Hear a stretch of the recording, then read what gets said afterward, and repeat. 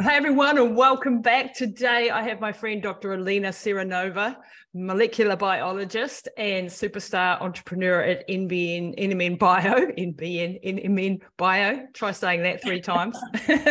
welcome, uh, Alina. It's fantastic to have you again. Great to be here again. Really, really loving it. Uh, awesome. And today we've got a little short show for you, and we're going to be talking about supplements, why you need to take them our modern nutrition and going through some of the molecules that you might be interested in. So, Alina, why do we need to supplement it all? Our grandparents didn't need to. Why do we need to? Yeah, that's an excellent question. And I'd like to talk about the modern nutrition and what it has basically become over the past few decades, because our nutrition is fundamentally different from the nutrition that our ancestors had 100 years ago 200 years ago thousands of years ago. Um, you know the, the carbohydrates were introduced into our diet only you know like very very recently and with massive agriculture um, and especially with the industrialization of the previous century we've seen such a huge shift from basically primal nutrition and um, protein based nutrition um, that was full of vitamins and full of uh, different nutrients that we need to um, to a lot of carbohydrate consumption with the modern food pyramid suggesting that we need 55% of our calories being um, coming from carbohydrates. And um, so here there are a couple of interesting points. So first of all the the uh, ag- the massive agriculture has resulted in a lot of foods not being as um, nutritious as they were even uh, let's say 70 or 80 years ago. So um, that's point number one. And point number two is that um, what are actually the essential nutrients that our body needs? So protein is being broken down into amino acids um, and fat is being broken down into fatty acids and carbohydrates they just being broken down into sugars. And um, this is the non-essential stuff. Yes they still generate energy. However uh, for example with fat and fatty acids we do need um, we do need fats because um, all of our cell membranes are um, consist of basically fats, cholesterol, and so on. So this is actually um, a very essential um, part of uh, of what our body needs in order to function well. And unfortunately, like I, I am hearing people saying things like, "Oh, I'm on a weight loss. I'm I'm just doing. Uh, I'm just counting calories, calories in, calories out, and no. it's all good." Not oh, not not all calories are the same because if you just keep on loading your body with uh, what i'm calling empty calories which could be sugars for example for example, like any sort of carbohydrates, right? So pasta, um, rice, things like that. Like there is a fruits. minimal um, yep yeah yeah even fruits of course there is like uh, there are minimal nutrients but even fruits like they consisted of uh, many more nutrients 100 years ago but now with massive agriculture fruits and vegetables have lost all of the um, nutrients that they had as well so um, when we're talking about nutrition, the the um, the modern day nutrition and what people consume, unfortunately, like in my opinion, like the goal should not only be to just stay alive and and take some calories during the day. The goal is to basically nurture your body and make sure that it has all the nutrients that uh, that it needs. And um, you know, there, there's been recently a scandal with the Liver King, um, the guy that founded Ancestral Supplements, um, because he was basically advocating this nose to tail nutrition and eating all of the organ uh, meats, um, you know, in, in, a supplement form. Um, and then uh, uh, basically, like what we realized is that he was taking steroids this whole time. However, um, I want to kind of separate the individual from the brand because I actually yeah. think that the brand is excellent and yeah. the products are excellent with desiccated beef liver, uh, which is super nutrition. Yep. Yeah, absolutely. I'm taking it as well, right? And yep. like, by the way, I have no affiliation with the company, but I do no. like their products. Yeah. Um, because I think that when you're nurturing your body and you're switching to a high protein diet where all of the calories that you're consuming are super, super nutrition, not just empty, your body starts operating in a different way. And of course, this is tied up to the unnecessary insulin resistance that is rising in your body when you're consuming carbohydrates on a regular basis. And that's a whole nother subject. And yeah. as you know, very passionate about um, spreading the word about insulin resistance and how bad it is because um, after studying different um, different longevity pathways and the biology of aging in general uh, this is where it all comes back to like it like Absolutely. because i was uh, very passionate about studying neuroscience at first. Um, this is my educational background and i was trying to understand neurodegeneration. I was trying to understand how the brain works and why does it age and why do we have neurodegeneration. Um, and then when i was um, when I was in, uh, studying different molecular mechanisms, it looks like it doesn't make sense to start intervening into different um, aspects of biology if there is insulin resistance. And yeah. this is true for neurodegeneration and also for other um, major diseases, such as cardiovascular diseases, for example. You know, uh, like cardiologists nowadays, they're giving wrong advice when it comes to, uh, you know, nutritional guidelines for people cardiovascular disease. This is uh, to me this is uh, you know like it, it's crazy basically it's 20 years old you know the the information that you're getting yeah yeah absolutely. So, so what they're doing is they're suggesting let's say reduce salt intake but then they're not telling you anything about your sugar consumption. However if you're cons- no matter the amounts of salt you're consuming if there is no insulin spikes in the blood you're not going to have progression and, and development of the atherosclerotic plaques.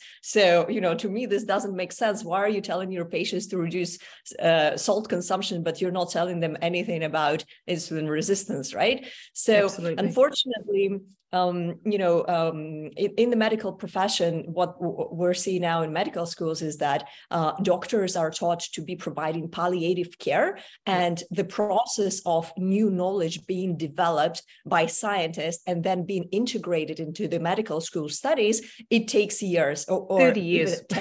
years, decades. Yes. Decades. So. Uh, yeah, so most doctors are not up to date if they're not proactive themselves about nutrition, and let alone they're not even studying that much nutrition at the medical school. Like they hardly have any any classes on, yeah. on nutrition. So One, less uh, than a day, you know, less than a day on nutrition. Yeah.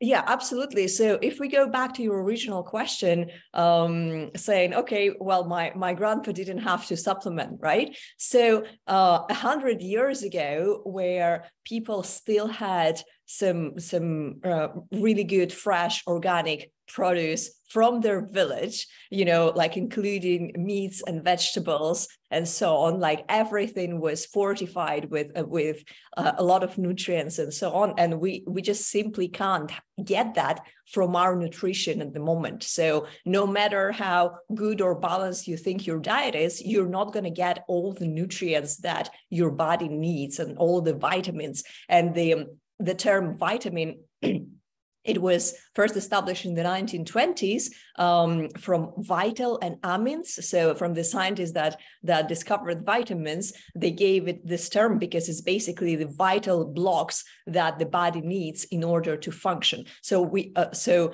uh, for me, this is basically uh, stage number one of your supplementation. So you you need to make sure that you're taking the um, you know the appropriate vitamins for your body, and then like stage number two of supplementation for someone would be to go uh, into more depth and um, kind of uh, consider what kind of specialized uh, anti-aging compounds someone would need after the age of 25 30 because this is when the aging process starts and this is when you need to ask yourself okay well how are my energy levels how is my focus because uh, a lot of people are kind of taking uh, fatigue and decreased energy levels for granted nowadays mm. and mm. it actually doesn't need to be this way so this yep. is very very um, interesting uh, to, to to see. And I think that there are a lot of conscious individuals already out there that are uh, realizing that, look, it, like this natural decline and progression doesn't need to be.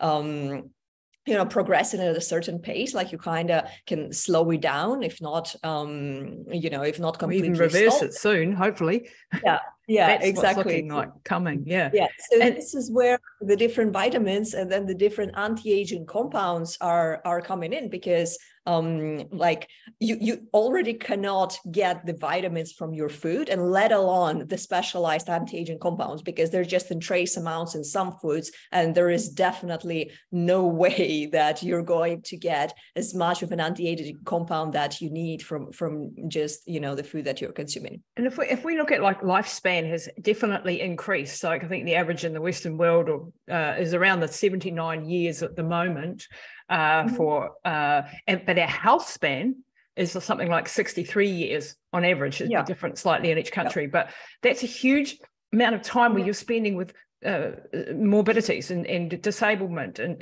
you know like there are th- so we don't want to be just existing because medical science is brilliant and they do great surgeries and they do great things that keep us alive but how are you living mm-hmm. and how are you um, progressing and then if we also look at the toxins that we're exposed to, on average, they say about 500 chemicals per day per human is what we're exposed to through the pesticides, through our vegetables, through our crops, through uh, our shampoos, our cosmetics all of that means that our detox pathways have to be operating at full capacity if we want to stay healthy.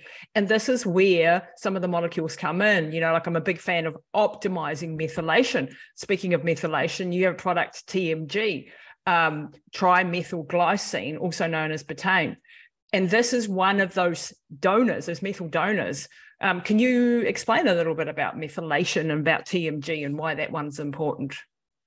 Yeah, absolutely. So, um, yeah, this those are a couple of very interesting points that you've mentioned here. So, I, I just wanted to add something with regards to lifespan. So, surprisingly, so lifespan has indeed increased, um, especially in the West. But uh, the last generation of Americans and Europeans, uh, it seems like their lifespan will actually be decreased at mm. the moment and it has to do with the obesity epidemic and the diabetes epidemic. And as i previously mentioned you know diabetes obviously um, has to do with insulin resistance. And then insulin resistance manifests a bunch of other diseases that yep, you cancer get alzheimer's yeah, and what we're seeing now is that uh, type 2 diabetes was something like much more rare in the past and also something that would manifest later in life, um, you know, in, in, the 40s and 50s and so on. And now we see even little children getting type yeah, 2 I've diabetes. got one this week,